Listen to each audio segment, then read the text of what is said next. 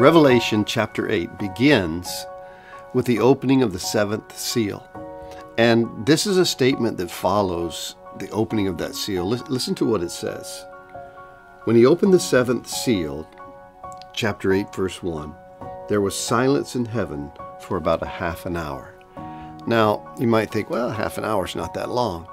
But in heaven, it's like eternity. It'd be like if you were listening to a sermon and suddenly the guy stopped for half an hour. It'd be dramatic. So, what's the silence about? Why is it there? Well, there's all kinds of thinking, there's all kinds of conjecturing. Some say it's to prepare for what's about to happen. It's so awesome, it's so tragic. The judgment's about to fall. Some say it's to hear the prayers of the saints or the cries of the martyrs over the centuries and centuries. As John continues, the judgment begins to pour forth. There's hail, there's blood, there's fire, there's all this wrath that's being poured out upon the earth. It's God's judgment finally coming to a, a world that has rejected Him. Four trumpets are blown and four judgments occur.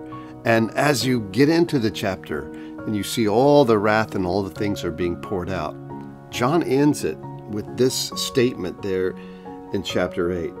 And I looked and I heard an angel flying through the midst of heaven, saying with a loud voice, Woe, woe, woe to the inhabitants of the earth, because of the remaining blast of the trumpets of the three angels who are about to sound.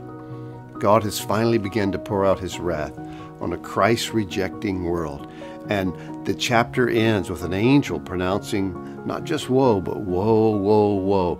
God is about to judge the world. And this is an amazing time in the history of the earth. Nothing like this has ever occurred before when God, who so loves the world, now comes to a time when he begins to judge the world who has turned their back on him and on his love.